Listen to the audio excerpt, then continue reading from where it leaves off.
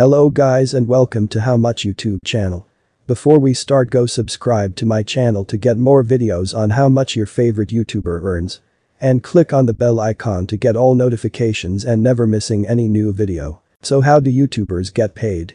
They make money by placing ads on their videos. And placing more ads equals more money they can make on their videos.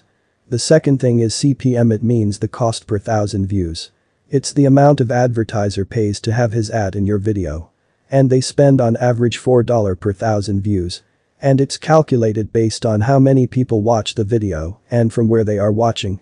Many factors affect the CPM, and it's included demographic content gender, time of the watch. YouTube also will take 45% of your ad revenue from the advertising. Now let's go over keeping it Dutch channel analytics.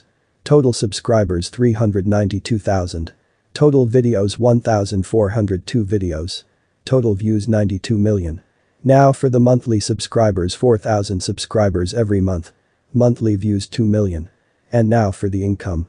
The monthly income will be 2 million views multiplied by 0.004 equals $8,000 every month.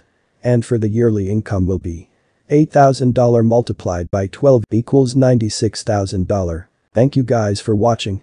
Don't forget to like, comment, and subscribe. And let me know who the next YouTuber you want me to do next.